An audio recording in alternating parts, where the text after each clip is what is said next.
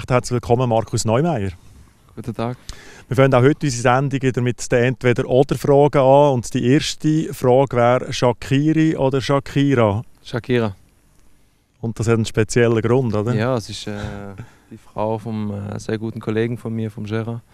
Und ähm, ist eine ganz, eine ganz nette. Und ähm, da ich natürlich äh, eher den Bezug äh, zu Shakira habe als zum äh, Shakiri, der natürlich auch ein super Fußballer ist. Aber dann äh, nehme ich natürlich lieber die Shakira. Jetzt könnten Sie sie ja mal einladen an einen Match und dann noch die Stadt Luzern zeigen, oder? Haben wir schon darüber gesprochen gehabt im, äh, im Dezember, wo schon ein bisschen ähm, wir darüber gesprochen haben, was bei mir in der Zukunft passieren wird. Und äh, nach der Europameisterschaft, äh, wenn er mal drei, vier Wochen Zeit hat, vielleicht findet er ein paar Tage, wo er, wo er sich das schöne Luzern äh, und die schöne Schweiz anschauen kann. Gerard Piquet und Shakira wäre natürlich ein schönes Sujet auch hier zu Luzern. Äh, die nächsten Stichwörter wären Haarwachs oder Haarschäl? es kommt drauf an, aber tendenziell eher das, äh, eher das Wachs, weil es doch äh, besser hält als das Schäl. Und, äh, ja. Aber die Frisur ist Ihnen wichtig, das sieht man. Ja, ich glaube, es gibt äh, auch eine schöne Frisur. Also ich glaube, es gibt wenig Männer, die, äh, die ohne äh, ja, in den Spiegel zu schauen aus dem Haus gehen. Und äh, ich denke, dass es zum gepflegten Äußeren schon dazugehört. Und die letzten beiden Stichwörter wären Ausgang oder Training? Training definitiv. Also ich bin gar nicht der Ausgangstyp. Ähm, eher der Familienmensch. Wie man auch weiß, habe ich zwei Kinder und äh, genieße eigentlich jede Minute mit, äh, mit den zwei, auch wenn es ab und zu mal nicht äh, so einfach ist. Aber ich glaube, das gehört dazu. Wenn ist denn nicht so einfach? Ja, gerade wenn es wenn, äh, um eine Sache geht, wo beide wollen und dann äh, kommt meistens immer die Ältere, die sich dann immer durchsetzen will. Aber der Dian, der Kleine, hat auch schon ganz schön Pfupf, wie man so schön sagt in der Schweiz. Und da sind die äh, Probleme meistens vorprogrammiert. Ja. Trotzdem, ich habe gesagt, Ausgang, weil ich habe mal eine Geschichte gelesen in der B-Jugend von Eintracht Frankfurt, sind sie mal aus dem Kader gerührt worden, weil sie eben lieber mit den Freunden sind in Ausgang als trainieren. Dann hast du aber irgendwas gelesen, was nichts mit mir zu tun hat. Also die Geschichte habe ich schon mal irgendwann gehört in meiner Karriere, aber ähm, es war nie so. Also ich bin schon mit 15, 16, 17 mal auf die Gas, wie man sagt, aber ähm, vor dem Spiel, ein, zwei Tage vor dem Spiel eigentlich nie. Dann der große Wechsel zum großen Club, ihrem Lieblingsverein Manchester United. Wie war das damals gewesen? Plötzlich dann äh, mit Stars wie Van Nistelrooy oder mit Cristiano Ronaldo auf dem Platz stehen? Ist natürlich ein unglaubliches äh, Erlebnis für einen 16-, äh, 17-Jährigen. Und ähm, am Anfang war es äh, überwältigend, was ich da in, den, in der kurzen Zeit alles erlebt habe. Und ähm, war eine tolle, tolle Zeit in meiner Karriere, weil ich nicht nur vom Fußballerischen, sondern auch vom Menschlichen wirklich äh, viel von diesen Stars lernen konnte. Und äh, das, das gibt einem auch äh, nicht nur auf dem Fußballplatz eben, sondern auch neben dem Platz viel mit. Ja. Trotzdem, es hat nicht geklappt mit der ganz grossen Karriere. Sie haben den Umweg gemacht über die Schweiz, über Thun, Bellinzona, Vaduz und jetzt FC Luzern. Und jetzt heissen die Mitspieler statt Ronaldo und Van Nistelrooy heißen jetzt halt Zibung oder Crezio. Bin ich auch zufrieden mit diesen Mitspielern. Also nein, nein, ich bin äh, sehr stolz, ein äh, Spieler vom FC Luzern zu sein. Ähm, seit einem halben Jahr bin ich äh, mit dem Kopf äh, oder mit, dem, mit den Gedanken spiele ich ähm, zum FC Luzern zu wechseln. Das ist ein toller Club mit, äh, mit tollen Fans, eine tolle Infrastruktur, eine super Stadt. Und ähm, ja, ich, ich bin mega glücklich, kann ich jetzt diesen Schritt im Winter machen und freue mich natürlich eben mit äh, Hecki oder mit Dave zusammenzuspielen. Apropos Hecki, der Hecko Rancrezio, den kennen Sie ja schon aus Vaduz und wir haben nach dem Training heute Morgen den Hecko Rancrezio zum Markus Neumeier befragt, was er denn so für ein Typ ist.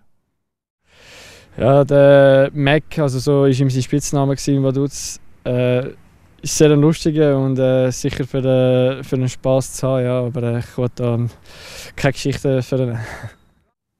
Ja, der Hector Ancrezio hat gesagt, sie seien etwa mal ein Spaßvogel, hat uns aber nicht so recht verraten, was sie denn für Gespässe machen. Was haben sie denn alles so angestellt von Dutz? Das würde ich jetzt auch nicht alles verraten, aber da gibt es schon einen, einen oder anderen Witz, weil ich denke doch, ähm, die Freude innerhalb der Mannschaft ist wichtig, dass man Spaß hat jeden Tag, weil man doch äh, jeden Tag als Mannschaft zusammen ist. Und dann ist es wichtig, dass, äh, dass man Freude hat am Fußballspielen, aber auch nebenher ein, äh, ein kleiner Witz schadet nie. Ja. Einen habe ich gefunden auf ihrem Twitter-Account. Da haben sie mal ein Auto mit Folie eingewickelt im Tessin. Ist das bei Bellinzona? Genau, das war Gügi Semmeter und der Gügi war auch meistens einer, der der selber mal Spaß mit anderen gemacht hat, aber selber nicht so einstecken konnte. Deswegen haben wir gedacht, dann äh, tue ich mal so sein äh, neues Auto ein bisschen einpacken und zu dem Zeitpunkt hatten wir mit Bellinzona auch ein bisschen Geldprobleme. Dann habe ich dann draufgeschrieben, dass es verkaufen ist für 50 Prozent und äh, das fand er natürlich nicht so lustig, aber die Mannschaft, es war ein riesiger Hit und äh, alle haben gelacht. Reden wir über den Fußball. Mit ihnen hat der FC Luzern einen weiteren Mittelfeldspieler bekommen. Das belebt natürlich das Geschäft und wir haben einmal die Mitspieler im Mittelfeld von Markus Neumeier befragt, was denn das für sie bedeutet, dass jetzt hier der Konkurrenzkampf angeheizt wird. Mit dem Christian Schneuli und dem Markus Neumeier hat der FCL nach dem Abgang von Remo Freuler und dem Dario Lescano das Mittelfeld weiter verstärkt. Dazu kommen junge Spieler wie der Nicolas Haas oder der Remo Arnold. Ein Konkurrenzkampf, den die FCL-Spieler schätzen.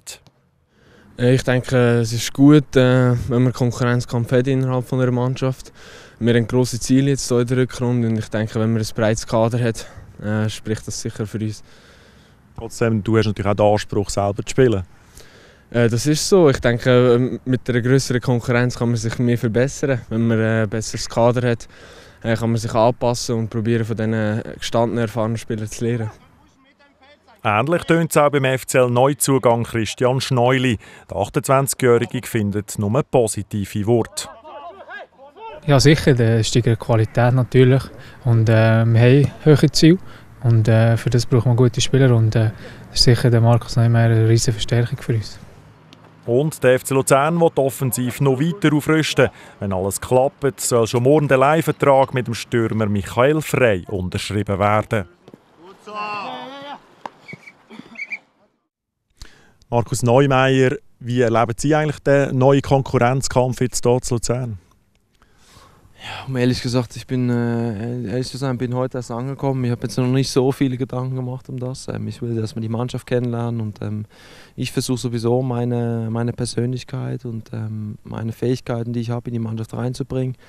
Trainer bin ich äh, nicht, ich bin, so ein, bin nur Spieler und äh, die Entscheidung liegt beim Trainer natürlich und ich versuche mich natürlich Woche für Woche den Trainer anzubieten und äh, der Mannschaft so gut wie es geht äh, weiterzuhelfen, dass sie ihre Ziele erreicht. Sie sind zwar Dutz Captain gewesen, sind Sie ein Führungsspieler? Ich würde schon sagen, ich bin jetzt nicht der große Lautsprecher, aber ich bin schon jemand, der versucht, ähm, mit, seiner, mit seiner Aura oder mit, äh, mit seiner Leistung von der, von der weg zu marschieren und ähm, hoffe natürlich auch, dass ich da die jungen Spieler wie Arnold oder Haas, dass ich denen auch äh, ein bisschen helfen kann, da im Mittelfeld äh, den nächsten Schritt zu machen. Sie haben Nummer 77 bekommen. Was hat es mit dem auf sich? Es hat einfach nicht mehr so viele freie Nummern gehabt und meine Lieblingszahl war leider auch schon weg und äh, habe ich mir gedacht, warum nicht die 77? Jetzt gelten Sie als ein äh, sehr begabter Spieler, technisch begabt, spielintelligent, aber Sie laufen glaube ich nicht so gerne defensiv, ist das so? Das, äh, das werden wir jetzt ja sehen. Also ich, äh, ich glaube, dass ich schon im Spiel äh, laufe, also komme immer auf die 11 Kilometer eigentlich im Spiel und das ist schon noch relativ viel.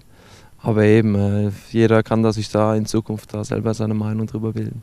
Sie haben jetzt den Umweg gemacht über den FC Luzern in der Schweiz, nochmal einen Schritt nach oben. Erleben Sie so etwas wie einen zweiten Frühling, fußballerisch? Ja, gut, so alt bin ich jetzt auch noch nicht. Also. Sie werden 30 im März, ja. Ja, das stimmt. Also ich denke heutzutage mit 29, 30 ist das noch kein Alter. Und ähm, klar ist es heutzutage so, dass äh, die Jungen natürlich immer, immer gefördert werden müssen. Aber ich glaube, mit 16-, 17-Jährigen nur in der Mannschaft gewinnst du auch nichts. Und äh, die Tendenz bei, bei den Vereinen müssten sie ja schon mit 16 schon äh, wie Ronaldo spielen. Das ist ja heutzutage leider so. Ich denke, erfahrene Spieler braucht es und schlussendlich gibt es eh nur gute oder schlechte Fußballer.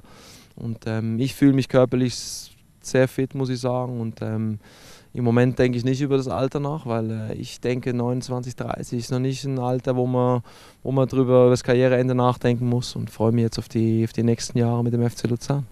Und vielleicht gleich noch einmal einen Schritt zu einem Grossclub, noch einmal zurück als Abschluss von einer Karriere. Träumen Sie da noch einmal davon? Im Moment träume ich vom FC Luzern und träume natürlich, dass wir da äh, die Ziele, die wir haben, äh, auch äh, die, äh, erreichen oder einfahren. Und ähm, das ist jetzt mein nächster Schritt. Und äh, Luftschlösser zu bauen, das habe ich früher mal gemacht, das mache ich nicht mehr.